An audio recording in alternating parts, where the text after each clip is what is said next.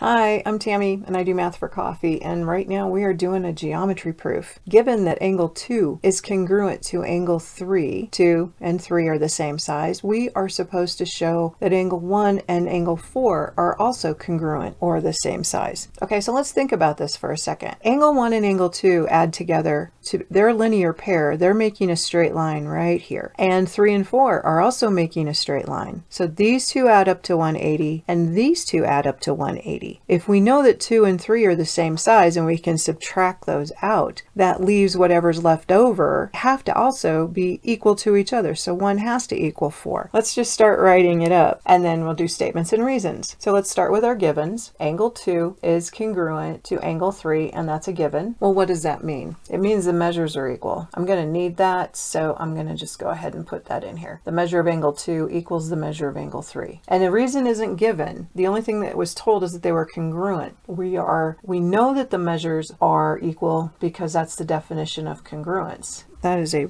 really bad congruent symbol. Angle 1 and angle 2 add up to 180.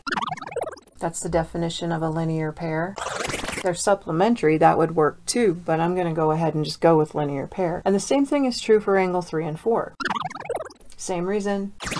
Okay, now look at this. We have one quantity equals 180 and another quantity equals 180. 180 equals 180, so these two things must equal each other from that transitive property. So we're going to just do that right now. If I can fit that all on here. Measure angle 1.